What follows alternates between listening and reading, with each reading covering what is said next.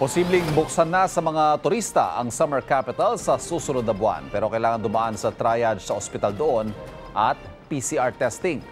Kinakailangan din mag-register ng mga turista. Dapat din ay may pre-booked accommodation na hanggat maaari ay accredited.